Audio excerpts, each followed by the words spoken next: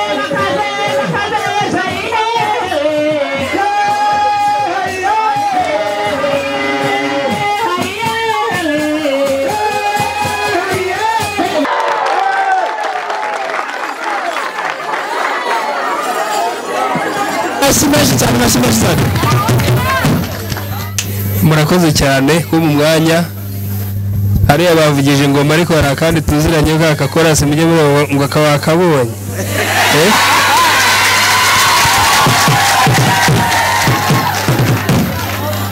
turaza kugashyiraho Ah, nagira ngo mfate uyu mwanya bari bampaye kugira ngo wenda na bano runo rubyiruko tubereke abayobozi bari aha ngaha turi kumwe cyane cyane b'akarere kacu turi kumwe na nyakubahwa visi meya ushinzwe imibereho myiza y'abaturage eh, ya- yabasuhuza araza kugira n'umwanya baganiriza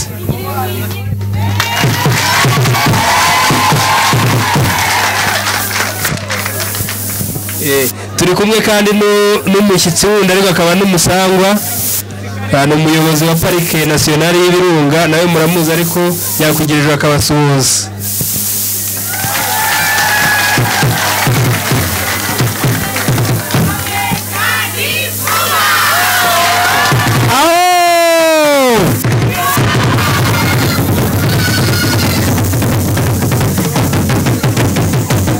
Murakoze cyane. Murakoze cyane. Abo muri nyange mugire gutya turebe. Ah. murakoze cyane. Nagira ngo rero n'umuyobozi w'umurenge wa nyange abasuhuze.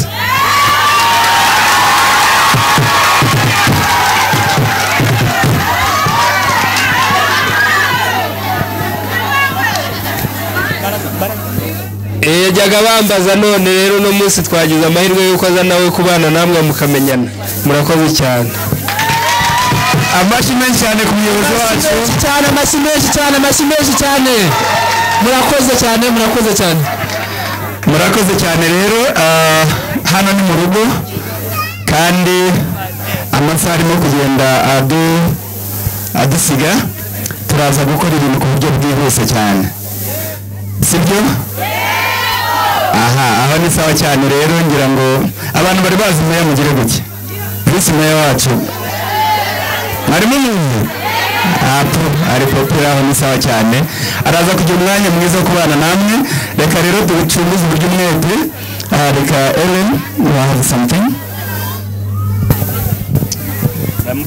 So, to start off some of our surprises, this week, my son Aiden and I and Emmanuel had the opportunity to go around and visit some of the sewing centers that you grouped off into this week. And we met you, and we talked, and we gave you some gifts.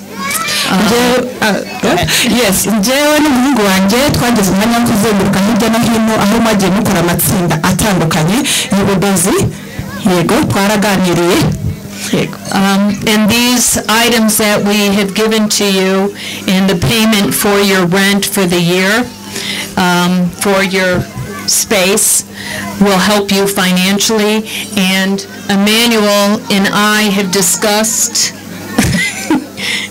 discussed that we really encourage you to go off into groups to start sewing centers and to work together instead of just going out on your own because it's more productive for you. And also, you have an opportunity to be with your sisters and build relationships.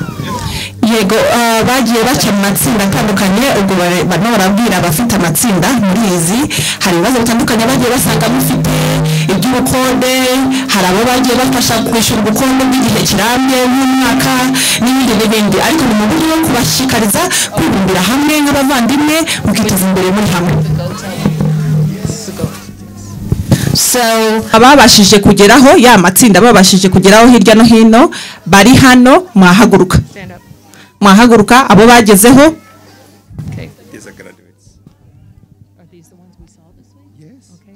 So to all of you in your sewing groups that you have ma- made and that we met, we are giving each group a intama. Buri tsinda twasuye tugiye kuriha intama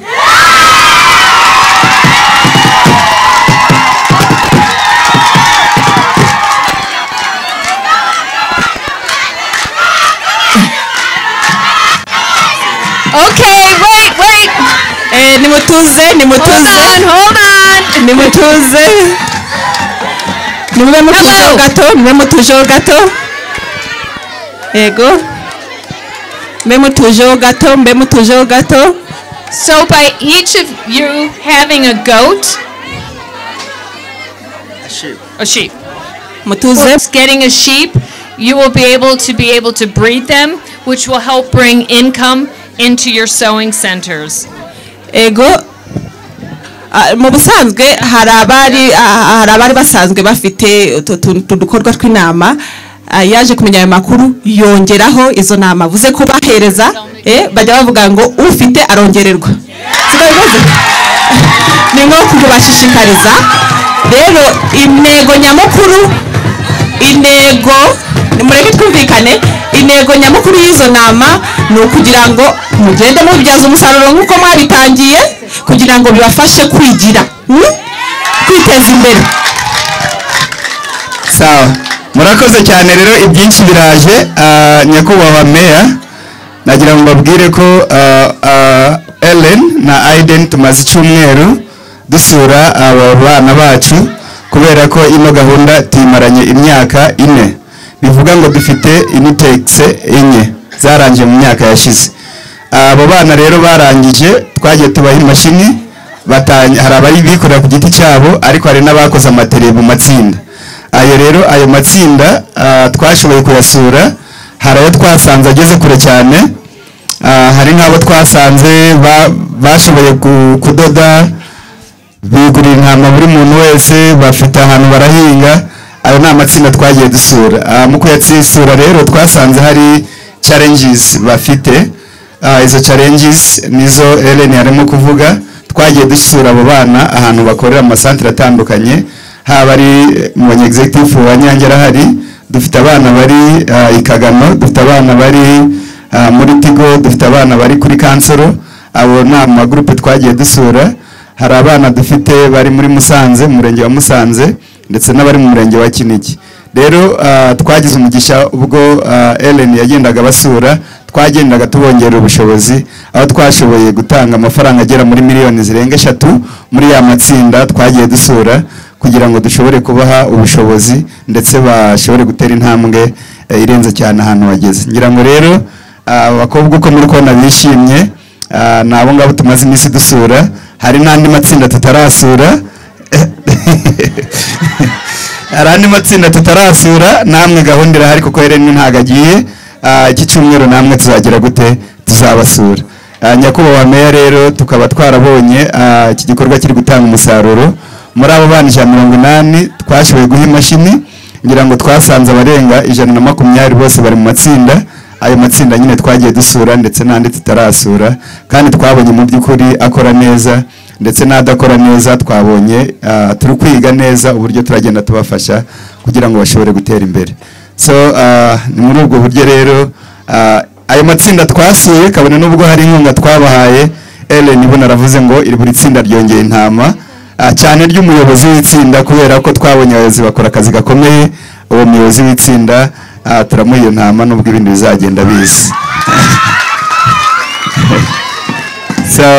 um, murakoze cyane rero ah, kugira ngo wenda bitaza gutwara umwanya munini ah, byose akaba ari n'umugisha birumvikana kongera guhura ah, n'umuterankunga wacu Ellen ndetse na Aiden ariyo mpamvu dufite gahunda y'ubusabane ndavuga kurya. Icyo tugiye gukora rero dufite intama icumi tugiye gutanga turaha ah, abakobwa bacu ngira ngo Ellen yari abibabwiyeho mu gihe avuga ati igihe turiya tugiye kuguha gutanga inka ni ukuba uhagaze neza cyane bivuga ngo it's a surprise. Ni surprise abana ntabwo babizi they get excited sometimes uh, niyo mpamvu you need to be ready for that. So reka rero dutangire dutanga intama kubera ko turashaka kubigira vuba vuba. Ah, izi izi ntama tugiye kuziha abantu batandukanye.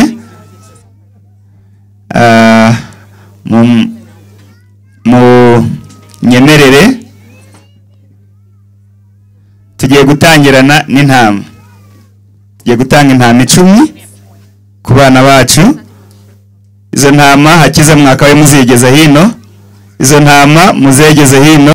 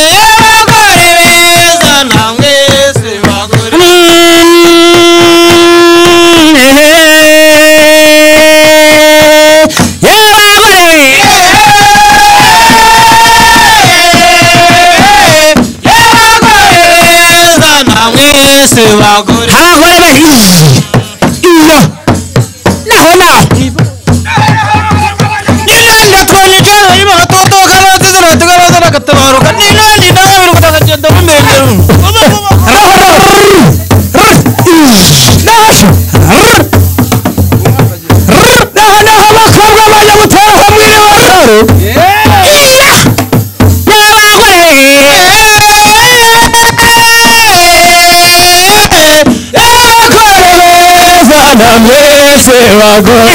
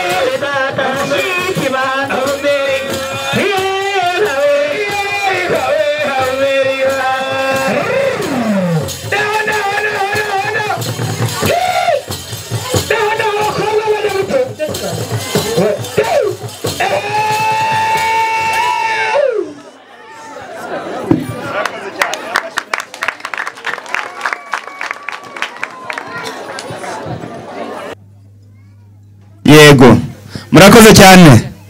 Umuntu wa mbere tugiye guha intama. Can you read this? Be my guest. oh my gosh. So umuntu wa mbere ni uwiduhaye janine mu mamashi menshi cyane uwiduhaye janine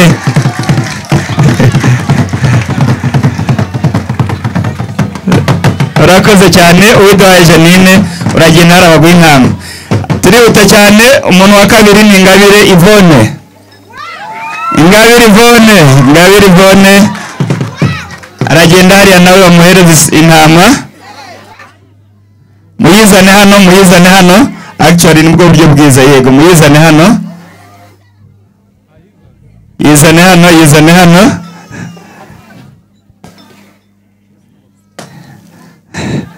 Aha urakoze cyane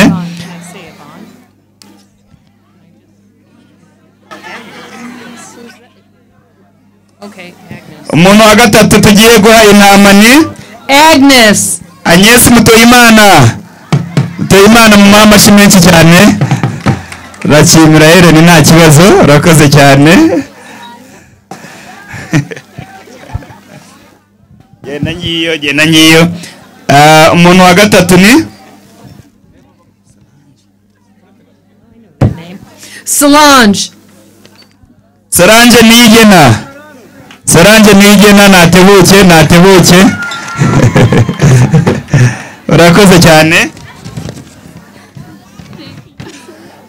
Urakoze uragenda hariya baguhe intama. Urakoze Solange undi muntu ni? Oliva Olive. Oliva Uwizeyimana. Uwizeyimana Oliva Uwizeyimana Oliva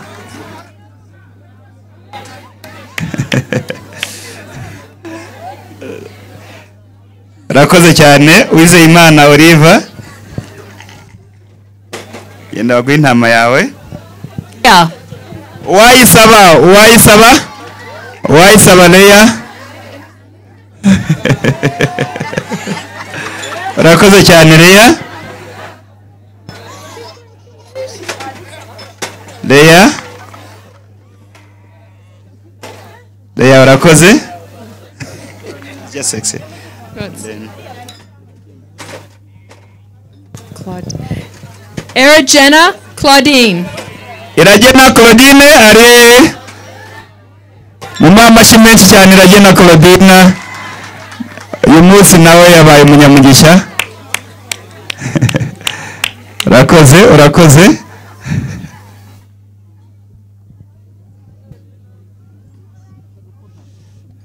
fata ku ntama yawe. Urakoze cyane. Ah, undi? Iradukunda joseline. Iradukunda joseline joseline joseline ni karibu. Mu mamashi menshi cyane joseline arakoze. Hasigaye abantu babiri abantu babiri basigaye. Ah, tugiye ku- ngiyo ngiyo ngiyo jyana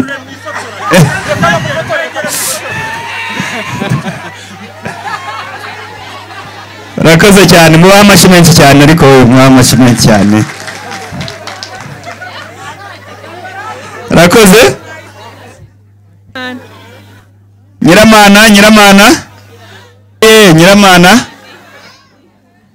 Chris nyiramana ninde Aha. urakoze cyane nyiramana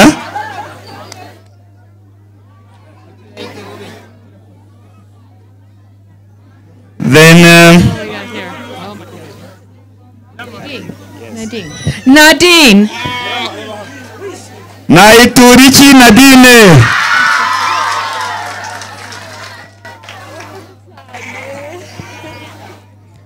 thank you very much izo nka na zo muzegeza hino muzegeza hino vuba vuba. Izo nka muzegeza hino vuba vuba.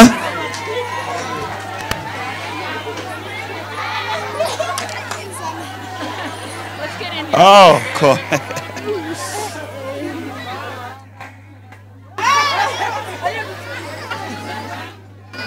murakoze cyane. Amashyi menshi cyane ku bantu duhaye intama amashyi menshi cyane. Oh. You will get to present the first cow. Visi meya agiye kudufasha mu gutanga inka ya mbere. Mwakire visi meya n'amashyi menshi cyane umuyobozi wacu katurebe umunyamugisha wa mbere ugiye guhabwa inka na meya ariko ubundi reka meya mbere y'uko atanga inka afata n'uyu mwanya wo kubabwira ubundi inka imaze iki? Nyakubahwa meya urabona rwose uri umubyeyi birenze kuba uri umuyobozi. Wanatubwira muri make inka imaze iki mu muryango nyarwanda ah, kugira ngo n'ubundi n'ababera bari hano ndavuga abashyitsi baze kugenda bazi mu by'ukuri iyo tuyitanze bivuze iki. Cyane ko ah, muraza kubikomozaho ni gahunda ya nyakubahwa perezida wa repubulika n'ubundi yo gutanga inka aho yavuze ko rwose gucanira mu muco nyarwanda mu muco wacu cyangwa se mu muryango nyarwanda. Ah, ntukazime. Reka muhe umwanya rero mu magambo atangire iki gikorwa mu buryo buri ofisiyeri nyuma yaho. Aho neza. Mbanze mba- mbashimire ko bantumiye maze nanabibwire mbere yuko ngira icyo mvuga ku nka. Nitwa Theobald Kayiranga nk'uko eh, Kamusanze wungirije ushinzwe imibereho myiza y'abaturage. Nishimiye rero kubera ko mwebwe muri no mu nshingano zanjye cyane. Yes, before I tell you the meaning of uh, the importance of a cow, briefly let me tell you about myself. He's a vice mayor in charge of Shosho.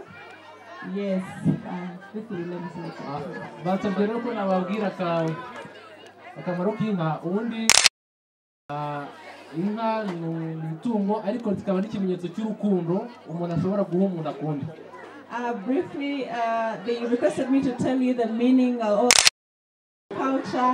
A cow, giving a cow is a sign of love, where someone can give a cow to someone he loves, he or she loves. Mwebwe rero mugize umugisha abagiye guhabwa inka nubwo ishobora kuba yakugira ikikubyarira kugira ngo ni- ni ikimenyetso cyerekana ko uh, uyibahaye abakunze nk'uko nari mbivuze ariko no mu muco wacu ariko uh, mu mwaka w'ibihumbi bibiri na gatandatu nyakubahwa perezida wa repubulika wongeye kugarura gahunda ya gira inka kugira ngo buri munyarwanda wese agire inka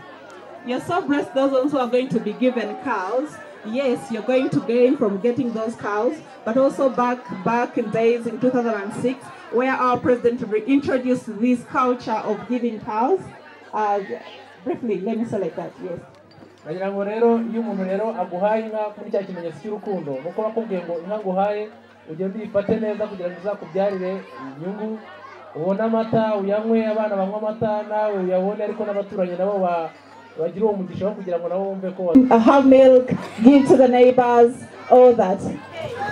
ngira ngo muri make ni ibyo ngibyo ah, icyo nashaka kugarukaho cyane ni uko ari urukundo ari umugisha umuntu aba aguhaye kugira ngo utunge utunganirwe Briefly, it's like giving you, it's a, a, a sign of love, uh, go have benefit, uh, develop, brief, generally like that, yes.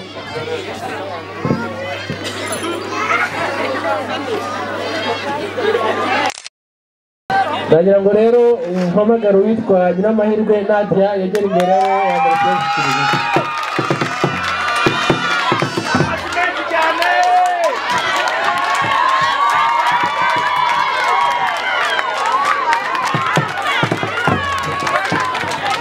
amashyi menshi cyane kuri meya ndetse na nadia amashyi menshi cyane reka umuyobozi amufashe agenda yimwegereze rero abafotora barebe uko bafotora murakoze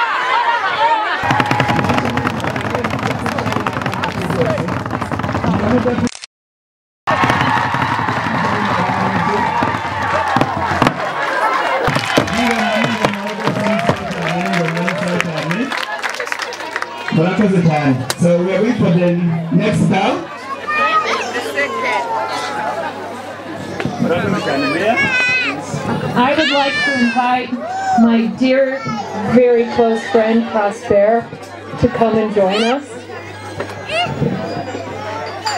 I met Prosper the second day I was here, and my relationship with him is one of love and deep respect, and I can't tell him how much I care about him and support him and all the work he's doing for the community and for the national park. Thank you. Prosper ku munsi wa kabiri ari mu Rwanda ah, nibwo yahuye na Prosper so eh, n'ibikorwa akora mu bikorwa byo kubungabunga parike n'ibidukikije arakoze cyane Helen nk'uko mubizi u rwanda rwacu n'ingagi zatuzaniye abashyitsi benshi benshi ariko abakoma mu mashyi abashimira imana mushimire ko twabonye Helen As you all know, our Rwanda, our park brought us so many good visitors around here. Those who clap hands, clap hands that it all brought us Erin. ubwo ntegereje ko bambwira uwo mpina He's waiting to, to know who he's going to give a cow. Giving a cow is a surprise. No one knows that he's going to receive a cow.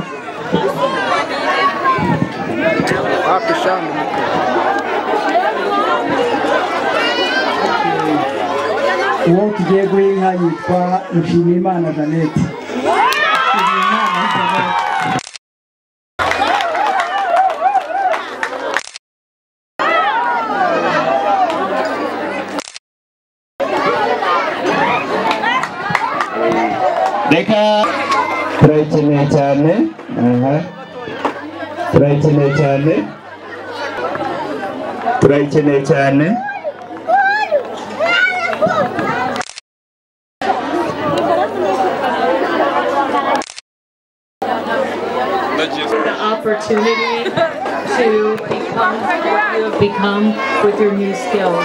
So can we please have our sewing instructors come up? Arashaka guha amahirwe yo gutanga aba- abarimu banyu batatu babakishije muri ibi bihe byose mwese mwibuka. Eh, aba ari bo batanga nka ikurikiyeho abarimu batatu ba bandi bigisha bano banyeshuri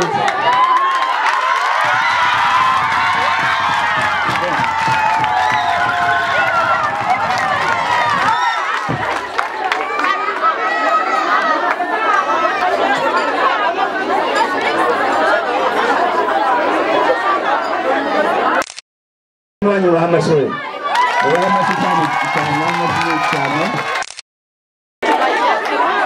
nyakubahwa meya ah, nge mboneyeho no kubabwira muri muri makeya aba bantu turi kumwe bariho Ah, kubera ko twabonye ko bano bana baza bafite depresiyo y'ababyeyi. Abana bangana nabo twashatse bano babyeyi. Kuko iyo tubyita parent figures iyo bari imbere yabo n'ubundi birenze kuba ari abarimu ni n'ababyeyi babo. Ah, kuko ni abahamyi bacu. Ah, niyo mpamvu rero ubona twafashe ababyeyi. Bahagarariye abandi babyeyi bakabaye bakora inshingano zabo. So rero aba bari Ah, turabona ko rwose ibintu bakoze biratanga umusaruro. Reka rero ah, tubahe uno mwanya baze gutanga inka. Umwana w'umukobwa allow me to briefly uh, uh, say what, translate what Emmanuel had just said. Uh, the people in front of us are the teachers of these all these ladies here uh, who are studying from this Pijila Women in Center, children, Women and Children in Center. The reason to why he didn't choose the young teachers like them, he wanted them to have like a parent figure, someone who is older who can help them go through the uh, parent depression that they had of them being rejected from their homes. That's why this old man and older woman here is standing here and teaching them. Thank you.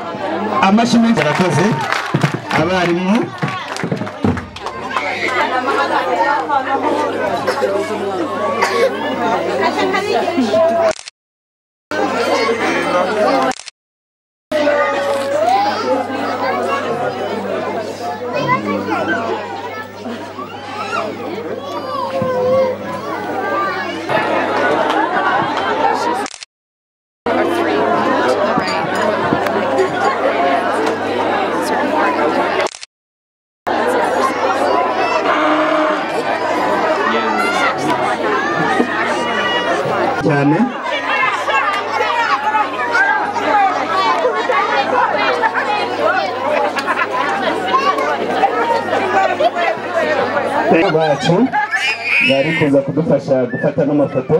Reka mpamagare burayide akaba umuyobozi uyoboye bano banyamakuru bari hano baturutse muri amerika.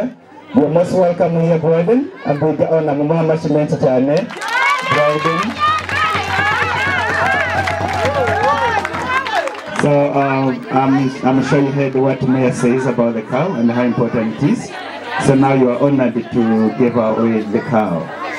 So and to say something to this guy. It's a big honor to be here, and I'm very, very honored to be participating, and it's wonderful to be in Rwanda. Thank atewe iteka ku bari hano no ku bari mu rwanda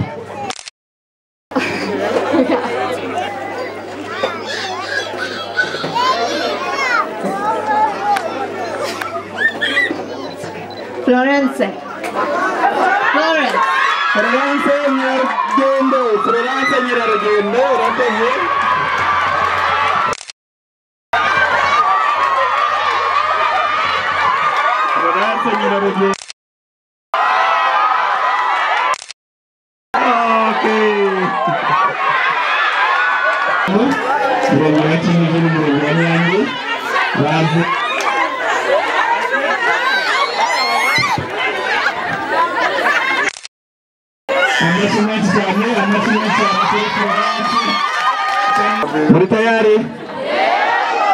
ninde ugiye guhabwa inka ya inka tugiye kugezaho ni ya kane ni ya gatanu. Ninde tugiye guha inka ya gatanu? Ninde? Aha ntabwo muzi reka abayobozi b'umurenge ah, b'imirenge badufashe gutanga ino nka. Murakoze cyane. Umuntu wa gatanu ugiye guhabwa inka ugize amahirwe yo guhabwa inka yitwa mutuyimana. Penina.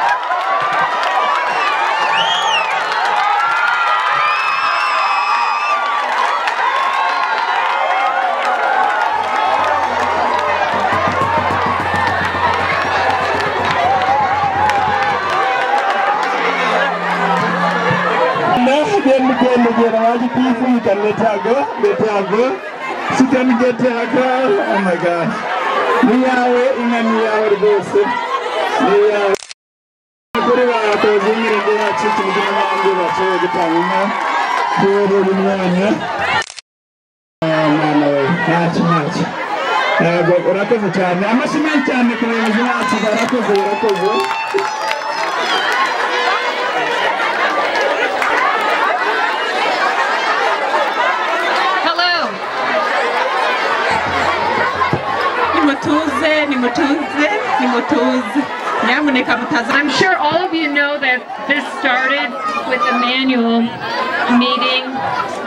a young mother. kugira mwese murabizi iki gikorwa kirimo ariko igikorwa cyo gufasha batoya babyaye cyatangiranye umwe muto And I have so much respect and love to Fanny and her daughter Jolie. And they are the foundation of the center.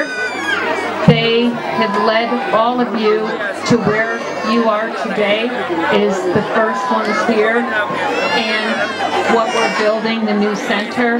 And I would like to invite Fanny and Jolie up here.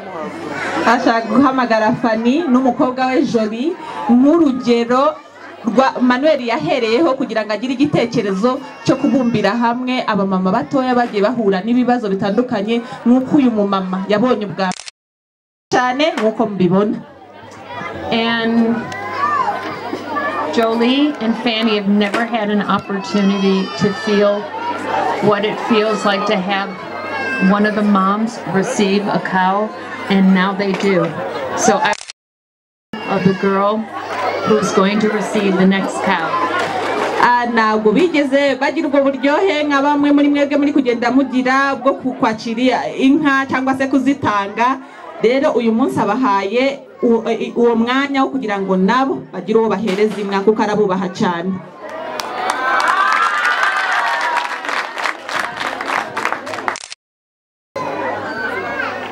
Uwineza Divine.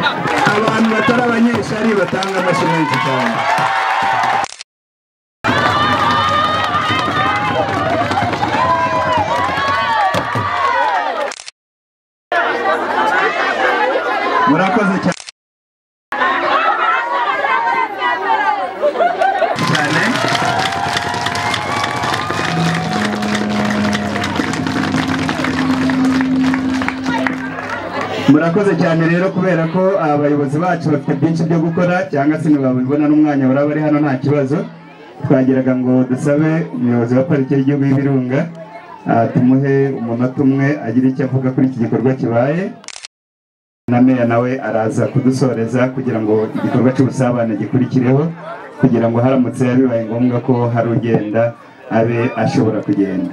Reka rero ah, twakire ah, umuyobozi wa pariki y'igihugu y'ibirunga aze kugira icyo avuga kuri iki gikorwa cyabaye uyu munsi ndetse na meya araza kudusoreza. Ah, murakoze cyane. Ndabanza gushimira muceceke muceceke abantu nimutuze nimutuze twumve icyo batubwira. Mutege amatwi. Eh, mutege amatwi.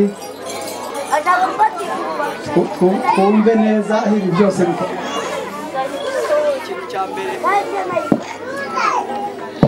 ikintu cya mbere cyo gutanga inka nababwiye ko ah, tugashimira leta yacu yatuzaniye ubukerarugendo tukabona abashyitsi nka basura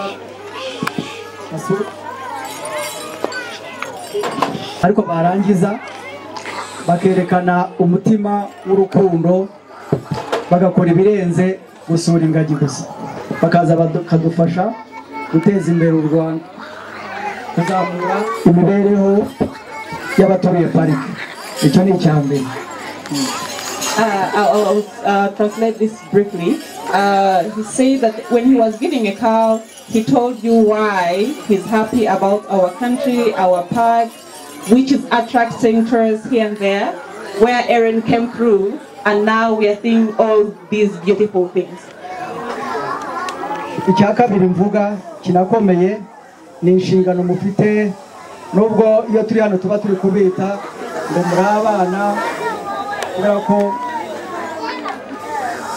mwahuye eh, n'ikibazo cyangwa se n'iryo somo ryo kubyara mukiri bato ariko n'ubundi muri muri muri ababyeyi mufite inshingano rero bwo kumenya ngo ibi byose bituruka hehe bituruka kuri parike y'ibirunga Uh, he want to tell you still your responsibility that you have. Yes, we are calling you uh, young people or young mothers just because of what you faced of uh, giving birth when you're still young. But still, you're still parents and you have a responsibility of taking care of those children. But also to know that all that you see is from what you having closer to you, which is the park, the uh, Volcanoes National Park, which is attracting tourists to us. And here you see them supporting us.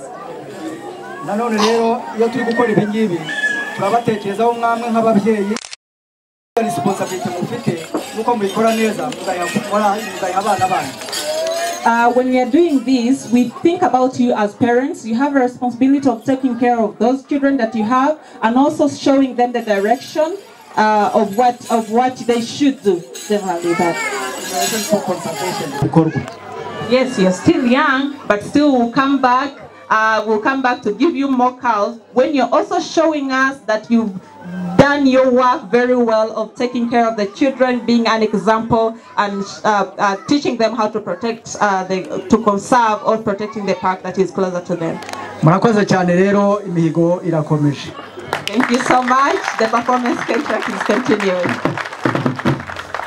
Ah, murakoze cyane nagira ngo ntangire nshima nshimire Helen nshimire Manuel wagize umutima mwiza wo gufasha abantu bababaye kuko ntabwo ari muhanda ariko tukabirengagiza Yes, let me start by thanking Emmanuel and Erin. Emmanuel, who started this, because there are so many people who are out there, but they're just bypassing. They don't think like the way Emmanuel thought of starting this charity uh, program. ntabwo ndi buvuge ibintu byinshi na nuko nishimye ndishimye cyane muri ababyeyi batoya ariko bakeye basa neza bafite n'abana basa neza cyane batandukanye n'abandi bafite n'ubushobozi bwo kubarera ariko bakaba batabarera nk'uko mwebwe mubarera Yes, I'll not say much, but still, um, let me tell you that I'm so happy that I met you. The way you look, so beautiful. Because there are so many mothers like you out there who are not taking care of the children like the way you do here. icyo nshaka ku- kubabwira ni uko um, nyuma y'ibi ngibi muba mwahuye na byo mukabyara mukiri batoya ubuzima burakomeza kandi ubuzima bugomba gukomeza kandi bukaba bwiza ikindi nongeraho ni uko aba bana murera turifuza ko bazaba abana bakomeye cyane Uh, even though you gave birth when you're still young, he knows that. Uh, Ah, nashaka kuvuga ko ubuzima bukomeza ko n'ubundi ibyo mwifuza kugeraho inzozi zanyu mwagumya mukazigira kandi n'abo bana nabo mukabarera neza cyane. He wants to, to tell you that life can still continue and you can take care of those babies or children and life gets to be better even more. kubasaba. Nuko aba mwagize amahirwe yo kuba muri kwiga mwabonye ko mu rwanda ubu ngubu turi guteza ah, made in rwanda. Ibintu byose twambara akenshi usanga ko ari byo twikorera. Nanashimishwe namwe no kubabona ko benshi biyambariye imyenda mu- mubikomereho mubikore neza ndabizi ko bizabagira akamaro cyane He's happy that you guys are, uh, are doing the Made in Rwanda thing, and you all know that in Rwanda we are promoting the Made in Rwanda, uh, and he's happy to see most of you putting on the clothes that you've already uh, done yourselves. Uh, he's happy to, um, or encouraging you to continue like that. ahasigaye rero ibi ngibi kugira ngo ugere ku kintu cyiza ni uko ugira indangagaciro z'abanyarwanda indangagaciro ya mbere ni uko tugira ikinyabupfura no kwirinda ibi byakongera kudusubiza mu byo twagiye duhura na byo kubera ko ubuzima ni ishuri kandi umuntu aba afite ibindi byinshi nyizi nagira ngo rero tudafite amahoro tudafite umuyobozi mwiza nka nyakubahwa perezida wa repubulika ah, paul kagame ntabwo ibi ngibi twa- twabigeraho ntabwo twaza aha ngaha ngo twishime ntabwo twabona museka gutya. Ubwo icyo nshaka kubakangurira cya nyuma ni uko tuzirikana ko mu kwezi kwa karindwi ku itariki cumi n'eshanu dufite amatora kandi uko mbabona mukwiye kuba ibyangombwa mukazaba mbere mu kwitabira muri matora murakoze Lastly, you all know that uh, we, we are happy for the good governance and leadership that we have in Rwanda. If it was not of that, we would have not had this uh, celebration and happiness. So reminding you about the elections that are coming in July, yes, in July. Let everyone be ready to elect and choose well. Thank you. murakoze cyane. Abayobozi bacu barakoze. Barakoze cyane murakoze murakoze. Ah, prosper ndetse na vice mayor. Ubu rero ah, nyakubahwa ah, mayor ndetse na prosper n'abayobozi bandi bari hano tugeze mu mwanya wo kwidagadura aho rwose ubu ngubu abana bagiye kugera iwabo. So don't be surprised. Now it's a time to enjoy our time. But ah, reka mfate umwanya ellen ellen. Ellen ellen should come here should come. Umwanya udasanzwe cyane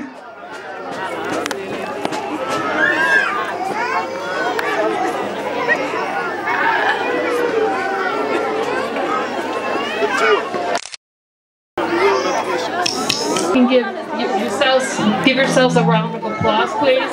Mm, arashaka gushimira buri umwe wese wemeye kuza kwifatanya natwe kuri uyu munsi twiha menshi cyane So we're going to close this and we're going to have some food, we're going to have some dancing, and the girls who received the cows, if you want, you can come up here and we can talk about what's going to happen next. ibikurikiyeho tugiye kwidagadura ni umwanya wacu tu- tunezerwe abahawe inka. Eh, ni umwanya wacu muri make. Murakoze cyane rero mu gihe twicaye reka twicare ah, ibusanzwe iyo tumaze kubona inka twazibonye reka dutangire twidagadure. Reka turebe umushumba wacu waruragiye izi nka tubwire izi nka ni bwoko ki. Ni karibu cyane.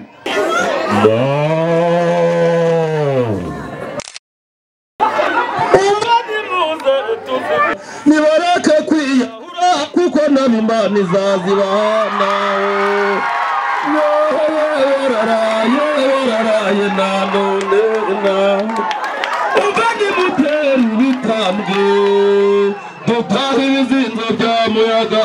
Tujye kugaruza rugondo rwa byano.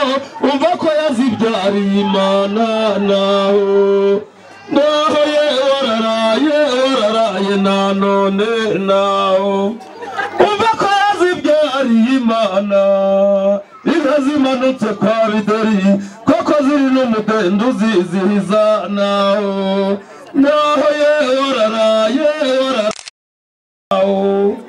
umva nimutera ibitambwe dutahe ibizinzo bya muyaga tujye kugaruza rugondo rwa byano umva ko yazibyariye imana. Naho naho ye wararaye wararaye na none naho umva nimugaruza inyumba ngari iya rukara rw'indahangarwa yewe mucumburage yabashima nkuyo naho none naho umva ko yahageze igatanga. Umva koko bayita intarama na guhiga naho naho ye wararaye wararaye na none naho wararaye wararaye na none ni nyiramacumu umva koko inkuba zesaniye mu bicu naho. Naho ye wararaye na none naho. Umva nimuze tuzivuge. Naho batazigira. Wararaye wararaye na none naho.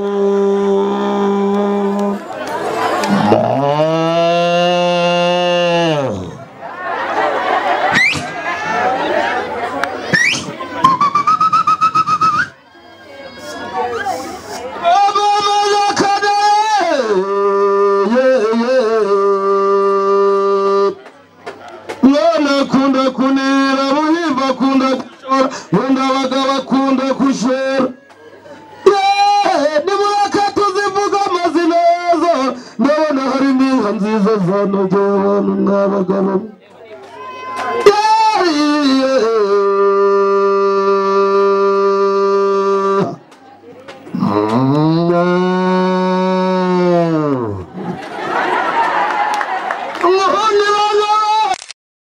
ruhinga rwakeneye rimwe yateye se basora agahinda yizije mutayi.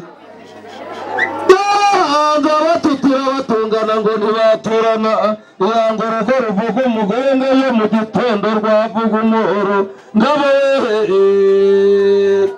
ngabo ntiki ngo ntikiryama isigaye itunzwe n'akamo k'abashumbira ngo nakabaye ku kabumbiro ka manda.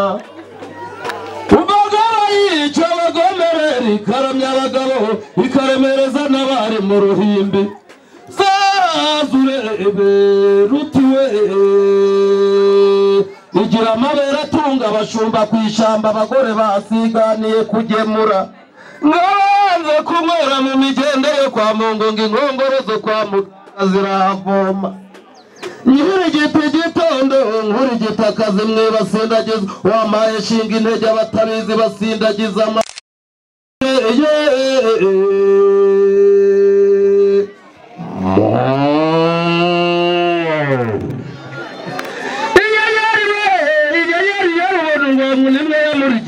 yamurikiye abakamyi n'abakamisha bakamahona ntibayiheza na ngabo zazurebe rubibi rubereye ibiro.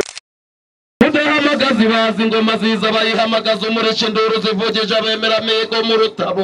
Ngo ibitugu n'ibyisengamihigo rukarwikubise umutana ye umwica barya umugo. Gumukabura cumu yayihawe na ruhezamihigo yarikojeje inkokora hasi inkoko zirataka zirananga. Barutumirwa ziratera ingoga rwanya mu igema ya rugamba. Imirambo n'imirindi y'inziza rwambungire rubonane. Inshoza mihigo ikomeje umwami. Rutaba imihigo intwari zihata iminago rwamuhirwa n'imbuga. Izo nka n'imbonera za rudahinyuka bifuza abanyabihogo dore imana yaziremye mu nziza. Imanzi ziyukira ku mubiri zivugwa mu zogeye zimutakara. Izo ngabo zeremyeho n'inyange zanarya amaso n'inyamba rukariragira n'ingeri zidaturwa n'ingabo mbi n'inyange ibyirukanye igitugu. N'imbonera ruterezambuga n'isati inyoshereje amanywa. N'ibara ritatse mu rubera n'umuheha utemba ku mubiri. N'irembo ryeze mamariza yeee! Ku byoni ikirere zihora zizihiwe n'ibirori? Zikarangwaho kibera inka. Zikaba imana yaremye kigeri zirahama zitegeka ibihe by'inyambo. Zuhima inyina n'imirimba. Zuhima inega n'imirindi. Zuhima impeta z'imurambi zuhisha zo ku muganza. Zuhiye rwogera ingabe. Zuhiye rwabugiriza ingoma zuhiye amakombe y'igiseke. Zuhiye inyuhahiro y'ikarama. Niyo mwiza yagikuye umwami. Ikomorwaho rwagisha zibyara imigisha y'inka n'ingoma. Basanze zambaye ari inyamibwa izindi nyambi ziruta zose. Ngo dore zigatanga amata zigasa nk'umwami yarabajije umugabo w'ingema aho inkuba zishinga imyata y'ingoma. Iya rutebezambuga rwa mpabuka impangazamihigo yo mu z'amatovu itabangira iminega y'indeko induru ntiyumva ngo tuze. Indiruki rwatashe mu rwoga. Urwamo rwasanga n'impeta impundu zakwiye igihugu. Bavuga ko haje umuhondo. Bahamagaramo n'izi murambi. Umurariya zikerereza zikongera zikoze ikabare zirakabuza impinga ya tsinda baraziragamira igishari. Bararisongaho ingabo nziza. Bayingona mbere utimirwa zotongoga na ruturushangura indongozi indeko z'ibwami zivuga imihigo inkuru ya kure ya buri umwami ruhema cumu yaziyebye ari umuhozi. Zisumbiye amahame zihanije abarasi zabaye urwoza amahembe. Kugeza ubwiwe n'imanzi imanuyemo kagame dore zagenuza mu kinigi. Yamwe badatunze umuhozi nimutuze murere haje amariza y'ingeri hajya kuzihata nibatuza zibahate ntawe ukizihangara zishobora n'ishimundi tata mwiza ndizwa bazihagira ugamburuza abantu ngo batagira uti bagasigara bizo nikamutamugatuza n'inguyo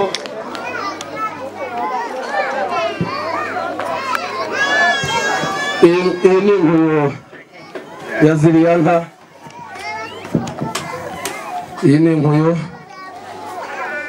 ngaho nimungurire muri uru ruhanga rw'uruhehemure rwahanzwe na gihanga ngoma ijana muruhe umugisha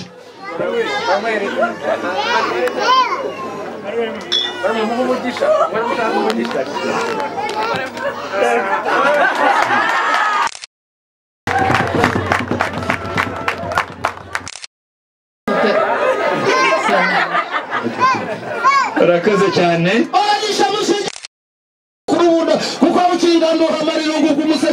Kandi n'amavunane bajya rutinduka barayibonye barayimira ngo babanze z'urutama zibanza zivura mu rumango irayikora yisha ibigire nyabukondogoro zikoramo amakamano ziti mbere uvurungano uvuye hehe ko wesha ibivura ivunja ni bwo aba mu mihigo cyama cy'ubukombe bashima imyato ndetse atusumbura ukereza ndi ngangara ugira ibi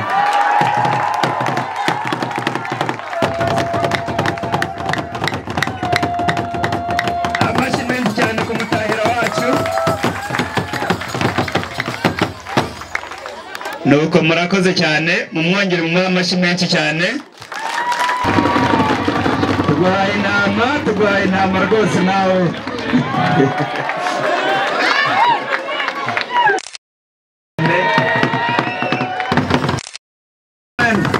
Come here. I think better give him a sheep as well. What? Give him two sheep. Reka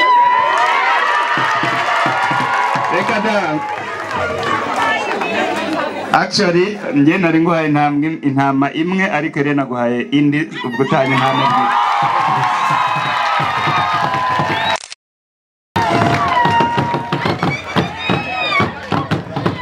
Urakoze cyane. Urakoze cyane. amashyi menshi cyane amashyi menshi cyane murakoze cyane murakoze cyane reka rero du- dusabe n'ubundi igitaramo kirakomeje reka dusabe. Ellen? Ellen ellen? Ellen arengeye ellen? Ellen please you are going to bring prosper and vice mayor to our table. So please not to the table. You need to welcome them. Hello, Prosper. Vice Mayor, come up to the table, please.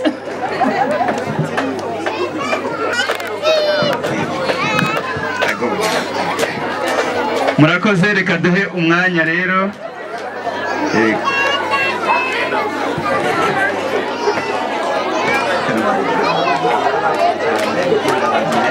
Ah, kubera ko nyuma yaho dufite n'amakeke hariya Eh, so ah, murakoze cyane. It's time to kwitamo we kutari gucuranga wapi?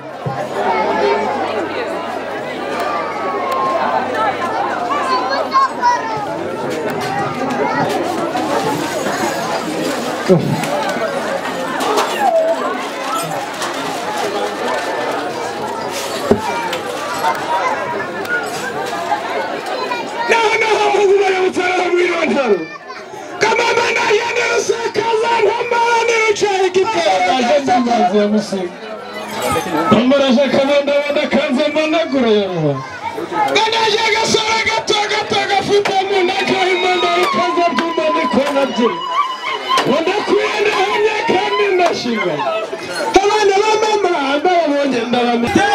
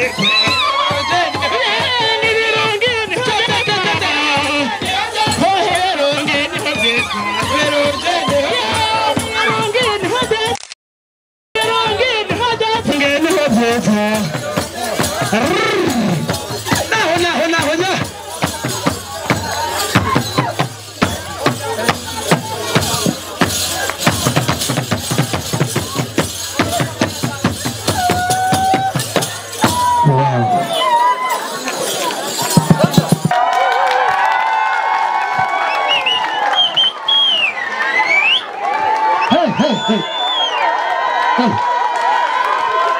is so amazing. Eh.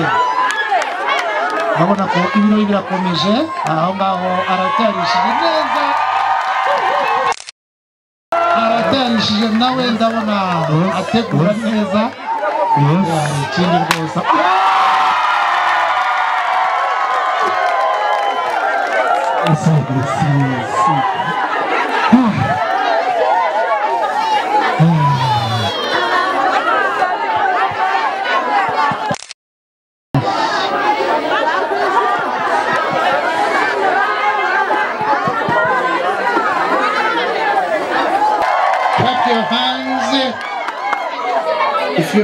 you know that you are.